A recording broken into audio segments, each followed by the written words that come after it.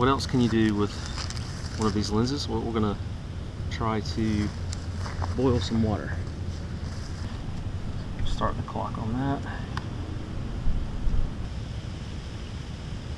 I'll put the steel wool in there so it'll it'll actually capture the uh, the sunlight a little bit better. Um, otherwise, you'd be better off putting the water in like a um, you know a dark steel container so the uh, the steel will absorb the heat. But you know I wouldn't be able to show you the uh, the boiling action if uh, if I did that. So hopefully the steel wool will uh, essentially do the same thing as what a dark container will do.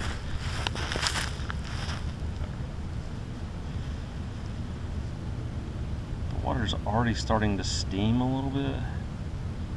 Um, I see some bubbles coming out, but I, I think that might have just been from the uh, from inside the steel wool itself. Let me uh, let me tap it a little bit, see if I can release some of those bubbles so we're not. Whew, Man, it's it's already getting hot.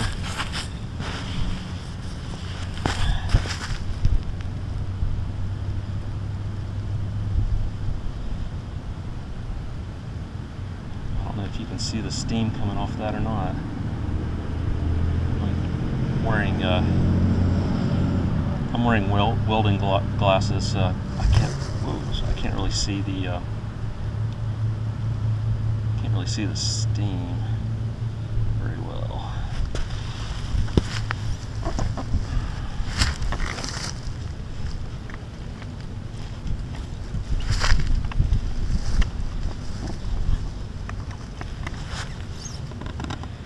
It's still very cold out here today. I guess it's probably I guess it's gotten up to about 38, 36 to 38.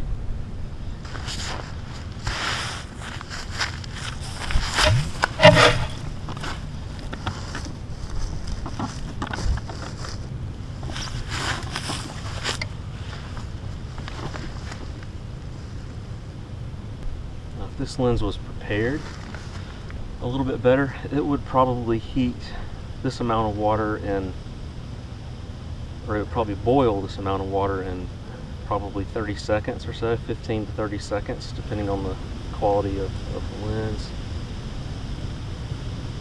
I'm hoping that this doesn't actually bust the glass.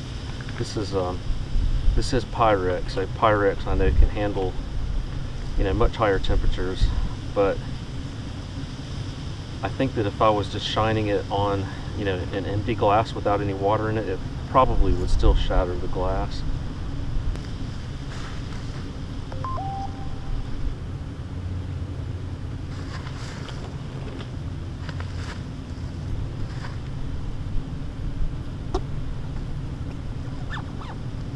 I guess it would help if I turn the right side of the lens towards the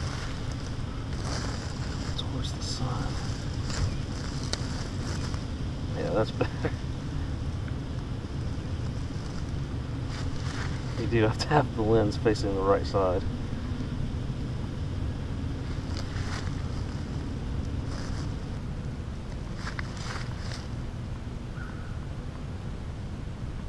I don't know if this is coming out on the camera or not. It might be reflecting off the glass and too bright for the, uh, the lens to actually see it.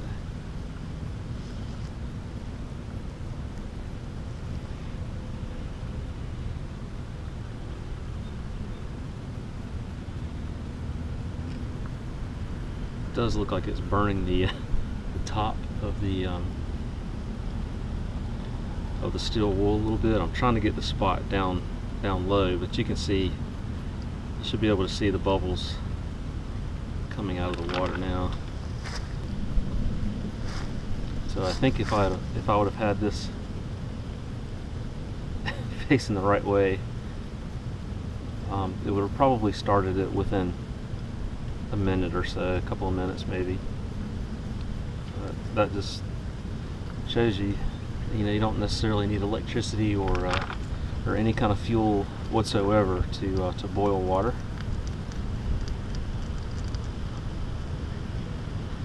no smoke, no fire.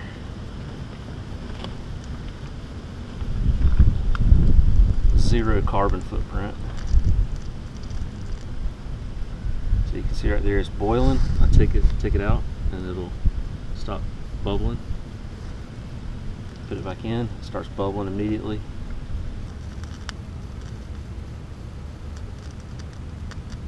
So, I think this would make a pretty good cooking lens. I could see myself doing a like a slow cooking pot roast or a big pot of stew or something.